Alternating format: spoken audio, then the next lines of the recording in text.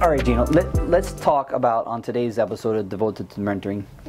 Let's talk about formal ways to mentor and then the informal way to mentor. So, kind of two different perspectives here. And let, us talk about the formal way first. It's really the, uh, I, I, think, the way we started out on formal mentoring, and then it became way informal because we talk about all kinds of stuff. True. But let, let's let's let's hit on the Toastmasters side because that's probably where what are our most formal ways of, of mentoring is and, and how we get people into the public speaking stuff and, and how we mentor them through that channel. One of the things I always say is that corporate America, the Fortune 100, 71% of those companies have a formal mentor protege program. And corporate America loves this formality. They want to know everything. Who's meeting with who, how often, when, how long, give me this report. Very, very firm, formal, and I don't like that. It works, and I highly recommend that if your company has a mentor program, to join it. Or if you, your university has one, I had one when it was belonged to the mentor protege program at University of Miami through the business school, and I met some really great people there that are still my proteges. So that's the formal way through business, through work, through a boss, even though we said your boss shouldn't be it. No, it's a workplace mentoring. A, a workplace program. And that's where most people or, are going to get introduced to the formal uh, format of, of mentoring. Right. Or, like you mentioned, Toastmasters. At Toastmasters, we do assign you a mentor. You don't have to take that mentor. You can choose your own mentor. But we highly encourage that you get a mentor because it's nice to be shown how to get on pathways, how to log on to the website, how to take on roles. Those are those technical things not, that not you just, need help. Not, before all that, just how to show up.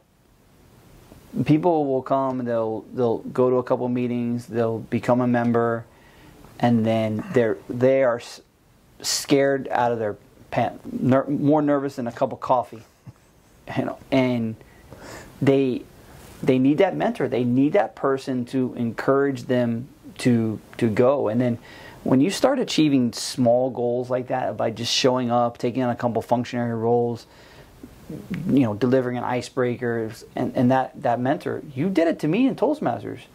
There yeah. was it's like, and it's what happens in our informal side of the mentoring is you accomplish one simple task that you think is huge and then I don't get done with it 10 or 15 minutes later and you're you're throwing the next one at me. it's like and then it's never we never stop. What's funny about it is that I don't even know I'm doing it. You don't just do it and then I started doing it to people. Cuz it's it's just it's so it's so rewarding when you when you get when that formal mentoring side when you when you're achieving something when you when you see that person growing and capture, you know, conquering their goals. And I mean, the fear of public speaking is one of the things huge. that, I mean, if you can conquer that, I mean, there's a lot of things in your future. And yeah. so we like the, I like the formal program in Toastmasters. The informal side is way more fun. Way more rewarding. Way more well. rewarding. Way more fun when you're just surrounded by a bunch of, you know, high level individuals. Like minded. Like minded, similar values. For us, it's crazy about our club at Toastmasters, but most of the people that come there seem to be entrepreneurs. And I, and I think it's one of the reasons why is because our club meets so early in the morning. It, it captures this professional crowd. We meet at 7:30 a.m. every Thursday morning at Irby University, and anybody that gets up at 7 a.m. and is ready to throw on their public speaking outfit uh, on a Thursday morning in front of 37 of their fellow professional peers, you know that's a high level individual. High level functioning. Yeah. So the, the informal side is, is way more fun and where I've found that the mentoring where I, I like to do. Here's the thing about mentoring too. It's exemplified by our relationship where, you know, there's days when I mentor you but there's days when you mentor me. Yeah. And it's so rewarding. And that's there's some, the. There's some days where you're my mentor in the morning, I'm yours in the afternoon. Yeah, you know, with technology, I'm not technologically challenged, a little bit, not a lot, but I've been around computers since my college days. I see this great opportunity where these other generations, other than the baby boomers, boomers can impart all this mentorship and knowledge and experience on people. Maybe they're a little weak on the technological side, and that's where you, as a more technologically advanced because you grew up with the thing, can teach your mentor that. So I see it as a nice symbiotic relationship. And, and the generation that came after me is teaching me things too. There you go. So uh, some of the things I try, and they're like, "Oh, professor, that that's that's so 30 years ago," and I'm like, "I thought this was cutting edge," and they're like, "No, here, come check this out." Yeah. So they're they're showing us stuff too, and and and that's that's the fun part Yeah. about mentoring. It's not it's not so serious all the time. Yeah, and it's not all about money or gain or Nah. some kind of material thing. No, it, it- the feeling that I get when I when I hear these stories, like the kid I told you about that I ran into the hallway, he said, "Hey, professor, you know, you helped me so much that what I do now that I have my professional job in construction management is I help others."